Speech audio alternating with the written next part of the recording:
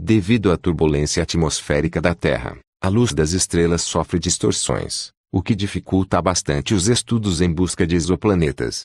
Pensando em solucionar este problema, uma equipe de cientistas da Universidade de Sydney, na Austrália, desenvolveu um novo tipo de sensor que pôde medir e corrigir a distorção da luz das estrelas com inteligência artificial.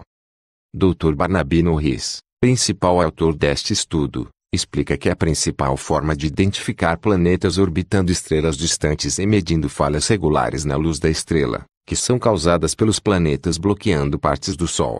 O problema é que, em solo, não é nada fácil diferenciar o brilho de uma estrela piscando da pequena falha de luz que um planeta causa ao passar por ela.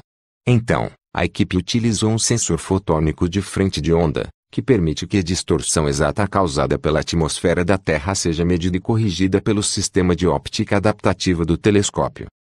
Ao neutralizar o brilho das estrelas que parece piscar devido às variações de calor na atmosfera do nosso planeta, será mais fácil descobrir e estudar planetas em sistemas solares distantes. Esse novo sensor mescla dispositivos fotônicos avançados com técnicas de deep learning e redes neurais, para alcançar um tipo de sensor de frente de onda sem precedentes para grandes telescópios, explica o professor. Diferente dos sensores comuns, esse fica onde a imagem é formada no instrumento óptico, de modo que é sensível às distorções invisíveis a outros sensores. Norris explica que a maior parte das observações dos exoplanetas é feita com telescópios espaciais, como o já aposentado Kepler. Com a nossa invenção, esperamos lançar um renascimento na observação dos exoplanetas em solo, diz.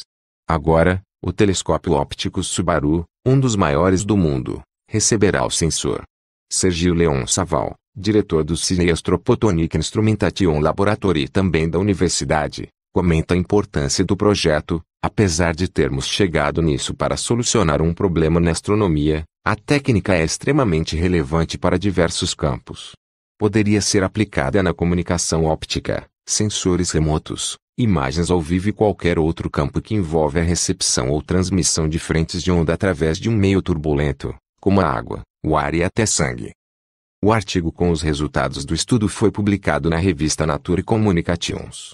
Eu espero que você gostou do vídeo. Deixe seu like e se inscreva-se ao nosso canal e ativar o sininho das notificações. Tchau.